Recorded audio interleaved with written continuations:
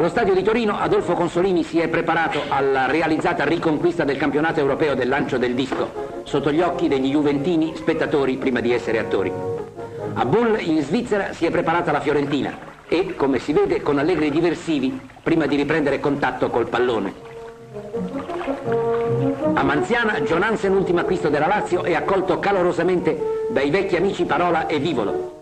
Poi si esibisce sul campo in un numero virtuosistico. Sparita la palla è ricomparsa nelle braccia di Giovannini, ma in fatto di consensi più che come portiere aggiunto, il nuovo centro sostegno laziale riscuote come chansonnier applausi fra la divertita sorpresa di questa spettatrice tascabile. Finiti i diversivi ci attendono al Vomero la nuova Roma e il nuovo Napoli. Ecco Niers, ultimo acquisto giallo-rosso, e Tre ultimissimo acquisto azzurro.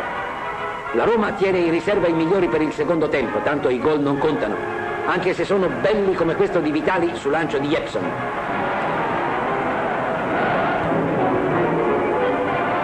Ghigia è sempre lui. Eccolo concludere in bellezza un duetto con Beltrandi. Poi Vitali restituisce il piacere. Nel gol di Jepson la semplicità che è arte.